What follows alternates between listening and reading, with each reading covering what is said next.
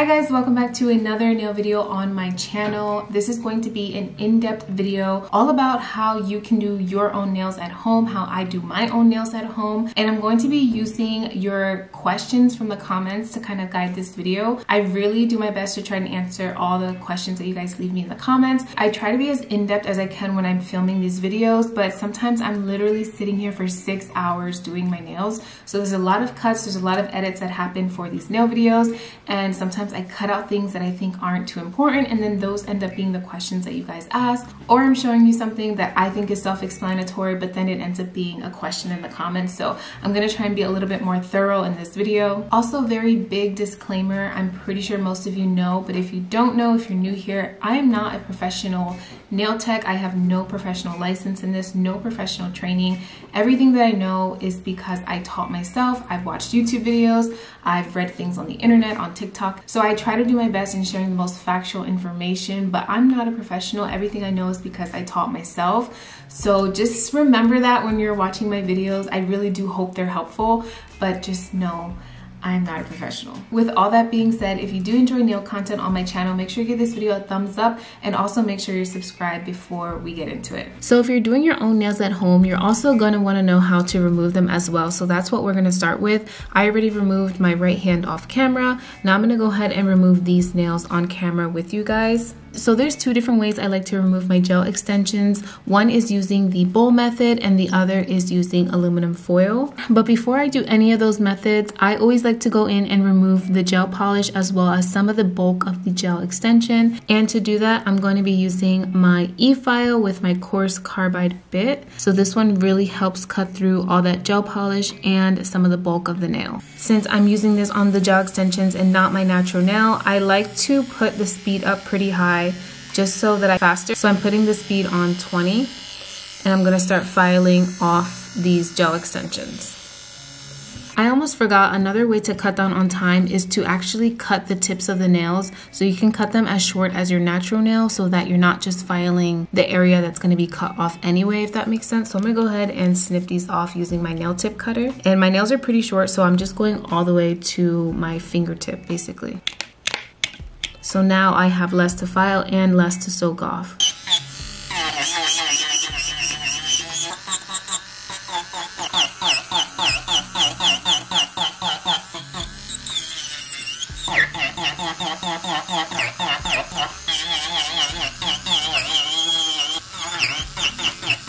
So now that my nails look like this, I'm gonna go ahead and soak them off. For this video, I'm going to be using the bowl method, but another way that I like to remove my nails is the aluminum foil method, which I showed you guys in my last video. So for today, I'm going to be using this bowl method. I actually got this set of two bowls off Amazon. I'll make sure to have these in my Amazon storefront as well as everything I use in this video.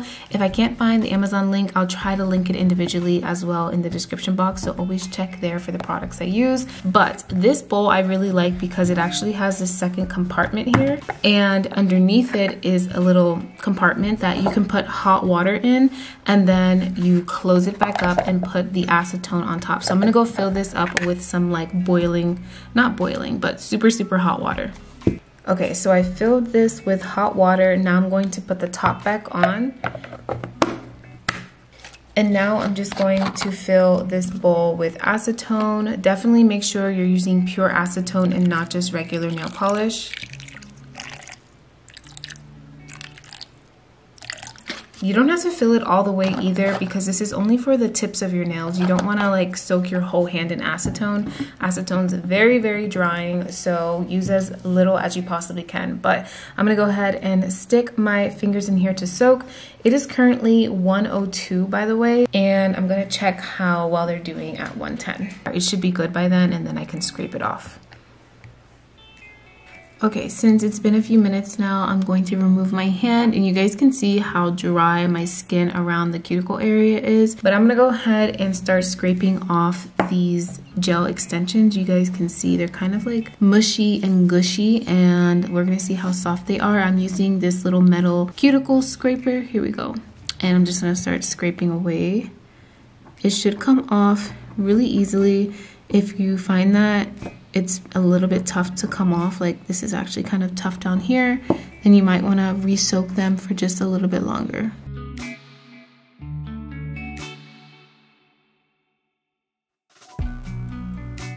So I've scraped off as much gel as I can and I don't have that much left so I'm not going to re-soak my nails. Instead I'm going to remove whatever's left with my e-file and a medium grit sanding band. And here is the e-file that I use. I love this one so much. I love that it has this little like digital screen here. It tells you how fast it's going, the speed. And you can also push this dial in and it goes in forward mode or reverse mode. Um, the only problem with this e-file is I don't have a brand name for it. I can't ever link it. Everybody's always asking me to link it.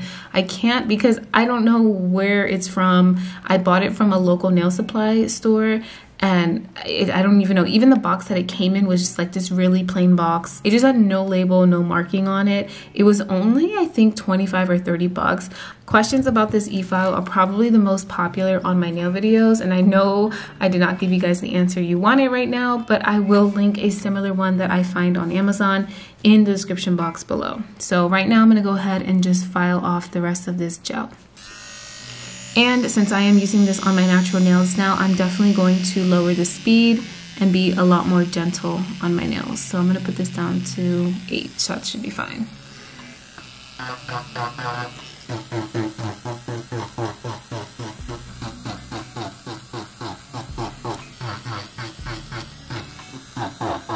Okay, now that all that gel is removed, I'm just putting some cuticle oil on my fingers just to get rid of this dryness and then we're gonna start doing some cuticle care. So next I'm going to be applying this cuticle softener.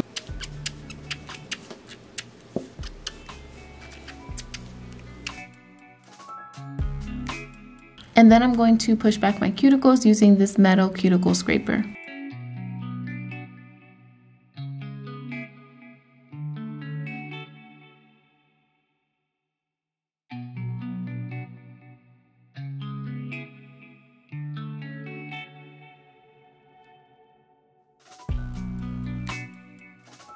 So next I'm just going to file and buff my nails to prep them for the gel extensions.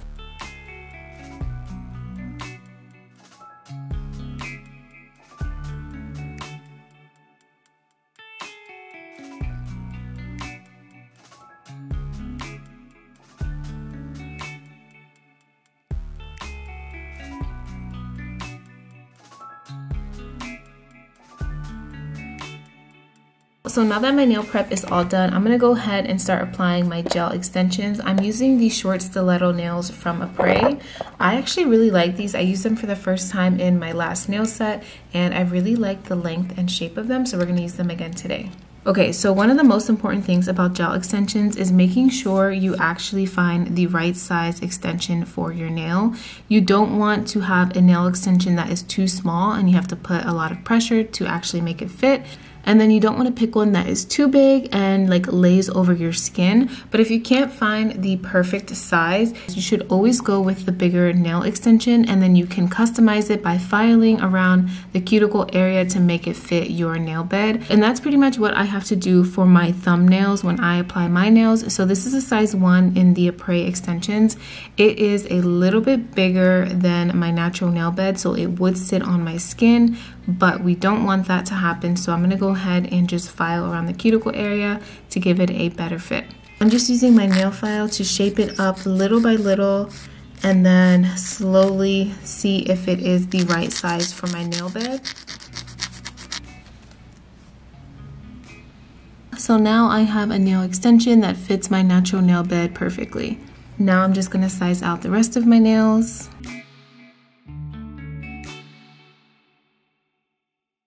So I'm using my e-file and a medium grit sanding band and I'm going to file all around the cuticle area of every extension. This is going to help thin out the cuticle area and prevent lifting which is going to make your nails last longer and just make the grow out process way more seamless.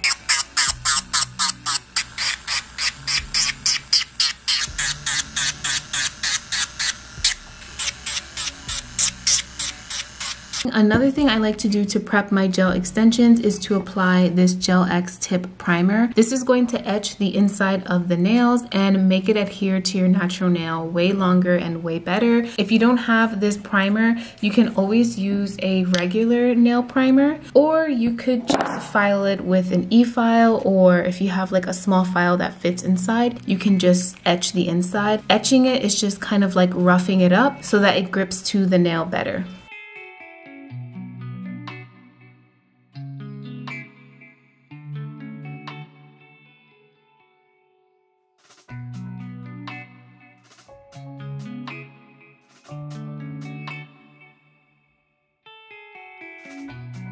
Now that the gel extensions are all prepped, it's time to prep my natural nails. I'm going to be using this bonder and primer duo from Apres. Nail bonder or dehydrator and primer are really important, especially for Gel X nails to make sure that your nails last as long as they possibly can. I cover my entire nail bed with this bonder and it kind of just dehydrates my nail, removes any oils so that the nail extension sticks really good on here. Next is primer.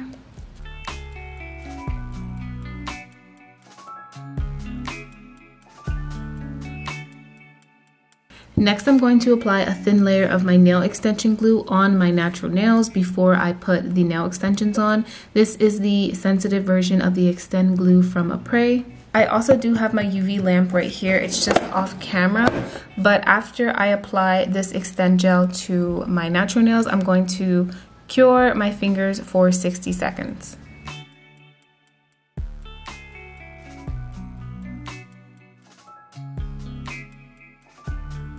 And before I cure my nails, I like to take a thin nail art brush and dip it in acetone or alcohol. This is alcohol.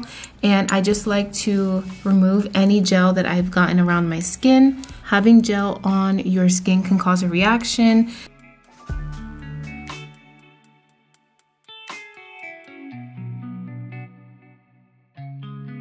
And then I'm gonna cure this for 60 seconds. And a lot of you guys has said that you like when I include me doing both of my hands in my nail videos. So I'll make sure to try and include both hands for all the videos I make going forward. Sometimes it's just easier to show one hand because it's faster. But if you guys like it, I can definitely do that for you. Especially when it comes to doing nail art with your non-dominant hand, that can definitely be a challenge. So I know it is nice to see kind of both sides of it and not just the one perfect hand that comes out of each set. I'm going to quickly clean this up.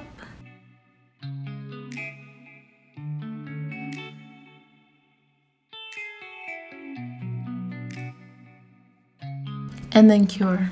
Okay, and finally, let's move on to the gel extension application. So I have my gooseneck lamp here. This is what it looks like. I really like it because you can adjust it, different heights, different positions, whatever. And this is what I use to flash cure my nails. I flash cure each nail as I put it on. And then once all the nails on each hand are on, I go ahead and put my whole hand under the big UV lamp and cure for 60 seconds. So you guys can see there's a little button here and then it has the little UV slash LED light. This little purple light right here is what cures the nails. So I'm just gonna move that off to the side and I will be using that same gel extension glue. Also, one of you lovely viewers, I think her name was Julie, she suggested that I start working from my pinky towards my thumb, which is the opposite of what I normally do, but it makes sense since you use these fingers less. And we use our pointer finger and our thumb more, so it helps with stability. Okay, so to apply the gel extension glue on the nail extension, I like to put a thin layer of it down all over the part of the gel extension that is going to sit on my nail bed. So just this cuticle area right here, I put a thin layer.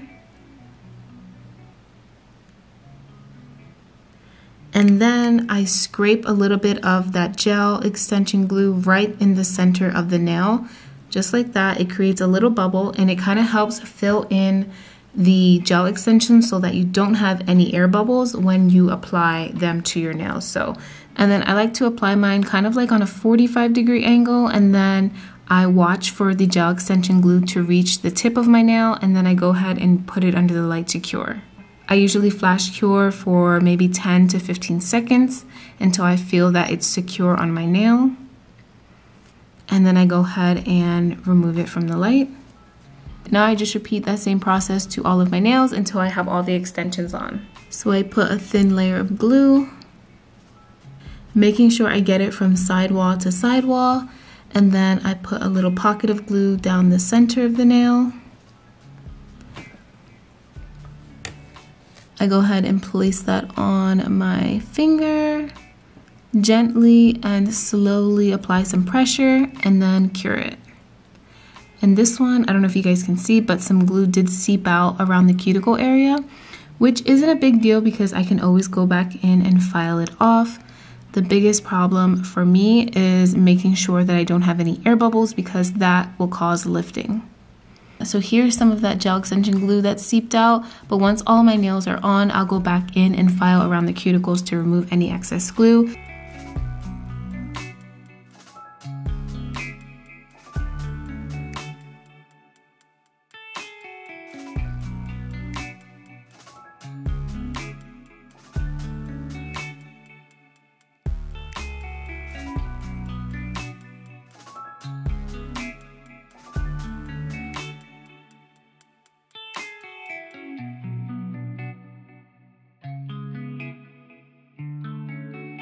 Okay, so my camera ended up dying, but I just went ahead and applied the rest of my gel extensions. After I flash cured using my gooseneck lamp, I did put my whole entire hand under the big UV lamp for 60 seconds on each hand. And then as I mentioned earlier, I did have some extra gel that squirted out around my cuticle area, so I'm going to remove that. And I also will just file around the cuticle to seal the cuticle, make sure everything is nice and smooth and seamless and I will be using my e-file with my carbide bit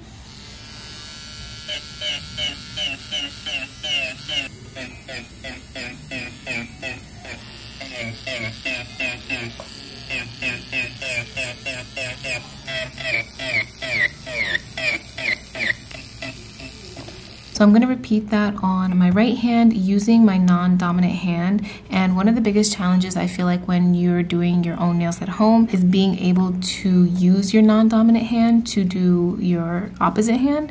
And one tip that I have is to try to be as steady as possible. I like to keep my hand on something like this. This is just like a little hand rest. And then I also try to move my dominant hand almost more than I'm using my non-dominant hand, which is the hand that I have have the tool in. I also always make sure I use my e-file on a super low speed. It's literally on speed 5 and if you're not comfortable with that you can even go slower or you can just use a nail file instead to get the cuticles sealed as best as you can. If you are a little bit intimidated about using an e-file around your cuticles, which I totally understand, that was definitely me when I first started out, you can always use a regular nail file. I like using ones that have a little bit of a curve to them, and this kind of helps you get around the cuticle area a little more smoothly. For me, this takes a little bit more time, but it does get the job done, and it prevents you from damaging your cuticles with the e-file. But since I feel comfortable using the e-file, I'm gonna go ahead and do that.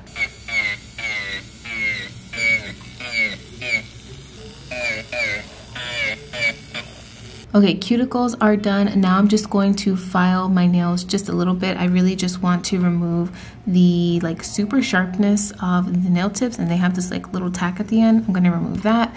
And then I'm also going to use my cute little heart-shaped nail buffer to remove the shine on all of my nails. I really don't need to do too much with these nails because I really like the shape, the length, the narrowness, everything of them. Like I mentioned earlier, when I'm using my non-dominant hand, which is the hand holding the nail file right now, I normally will will move my opposite hand, which is this one, more than I'm moving my non-dominant hand and filing is a great example of that. So I'll pretty much hold the nail file steady and I'm going to move my opposite hand to actually file my nail.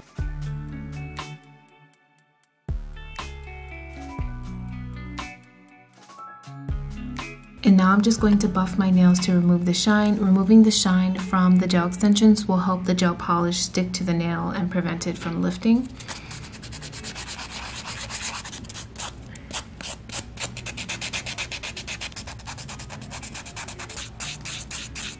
So now my nails are completely ready to be polished, but I wanted to give you guys a time update because I started doing my nails at 12.30 and it is currently 6 o'clock in the evening. And I just wanted to share that with you guys because a lot of you guys appreciated that I shared that in my last video, especially as a beginner. It can take pretty long to do your own nails. Sometimes I would even do one hand one day and then do the other hand the next day just because it would take me so long. And I'm a pretty slow worker, so it's been two years since I started doing my own nails and it still takes me quite a while, especially if I want to do like a real intricate design. Thankfully today I'm going to be doing something super simple. I actually got these little airbrush stickers, like they're supposed to imitate the airbrush effect, but I just want to do a simple set of these airbrush effect nails. Hopefully these stickers actually work and look like the actual airbrush. An airbrush machine is definitely something I want to invest some money into. So I am using this nude color from the brand Gelish. A lot of you guys had questions on this color as well. It is called Creme de la Femme. I usually find this at Sally's Beauty Supply. You can obviously also buy it on Amazon.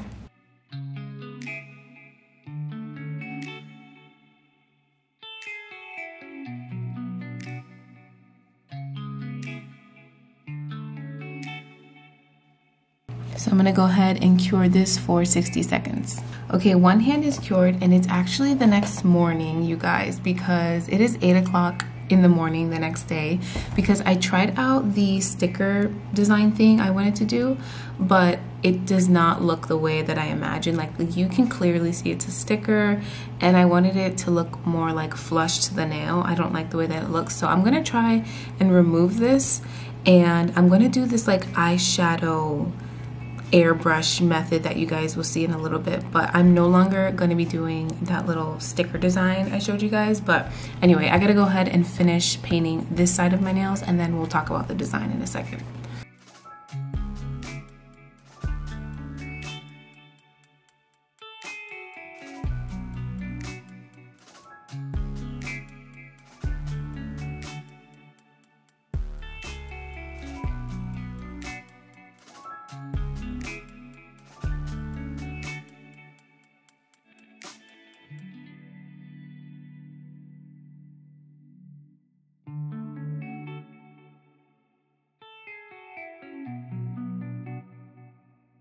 I'm actually going to be using some eyeshadow palettes to do this airbrush design. I'm going to show you guys a little TikTok that I saw when I was looking up different ways to do airbrush nails yesterday. So I found this girl on TikTok. Her username is Bora Blueprint and look how she does her nails. I'll link her video down below. I'll try to actually. I didn't even, I don't think I followed her. I saved it to my phone, but you can search her name on TikTok, Bora Blueprint. She does a bunch of different nail designs, and these came out so cute. Okay, I'm kind of thinking I'm gonna stick to the sunset vibe and work with these colors over here. And some of these are shimmers, so it'll look really pretty. And here goes nothing. We're gonna see how this turns out. I did have to wipe down my nails a little bit because I got so much lint and fuzz on them. So hopefully they're still like sticky enough for the polish to stick. And I think I'm just gonna start with this pink color here, Pink Moon.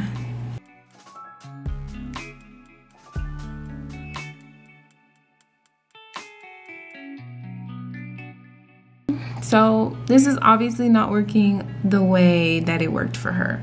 Okay, I'm going into problem solve mode because I really want this to work. So I think I'm going to put another layer of this nude polish on. Maybe my nails are too transparent right now, so the color from the eyeshadow is not showing up the way I want it to. So I'm gonna go ahead and do a second coat on all of my nails and then get back to the eyeshadow stuff. Okay, we're back in action. I have my second coat on. This time I'm only gonna do one hand at a time to avoid getting a bunch of fuzzies and I'm gonna go ahead and start putting the eyeshadow on my nails and see how it works. I'm gonna start with my thumb and let's see how this turns out.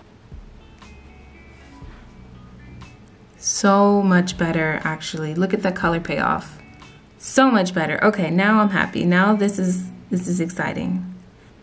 So if you are trying to do this, don't be like me. Just do one hand at a time so you can get what you're actually going for. So much better. Look at that color payoff. I'm gonna use the same brush, but I'm gonna wipe it off a little bit in between colors. And next, I think I'm gonna go in with this sunset orangey color here. I'm gonna do it up here. And then I think I'm gonna add some yellow from this other palette. Yeah, I guess we're going with sunset nails because I like this little color scheme.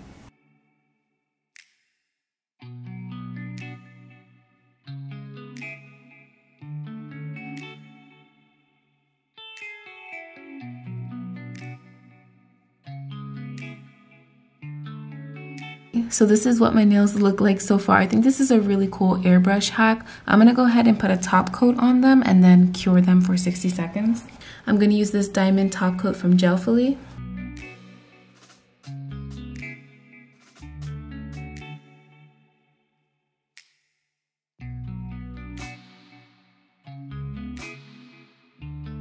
and then I'm gonna cure this for 60 seconds. So I painted the second coat of new polish on my other hand. Now I'm gonna go ahead and do this little eyeshadow airbrush design with my non-dominant hand. This actually would be a really easy design to do for a beginner or somebody who's just not as strong with their dominant hand when it comes to designs because you're literally just patting on eyeshadow. It's really so simple and I think it's so cute. I was debating if I wanted to do this hand a totally separate color, but I think I'm gonna stick with the little sunset vibe I have going on. But you could literally make up any color scheme, any pattern, do anything. You could also really pack on the eyeshadow to make it more bold and more colorful or just keep it more simple. You could even just use one color. You could do so many different things with this.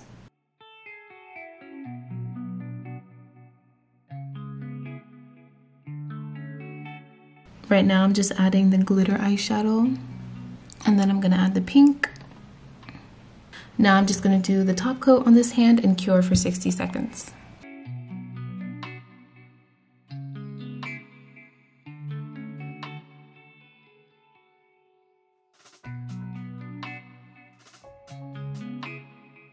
And your nails are never complete until you put on some cuticle oil. So I'm using this little pen from Sally Hansen. I like this one because it's like more of like a jelly. It's easier to control where you're putting it and it smells so good.